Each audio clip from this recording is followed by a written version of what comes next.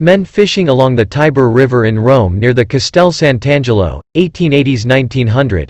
Vatican City is visible in the background.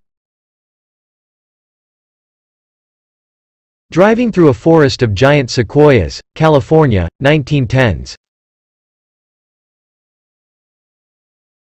A barrage balloon over the Tower of London, 1939–1940.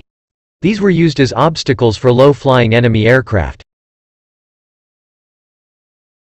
Children arriving at a London station to be evacuated to the countryside during the Blitz, World War II, 1940.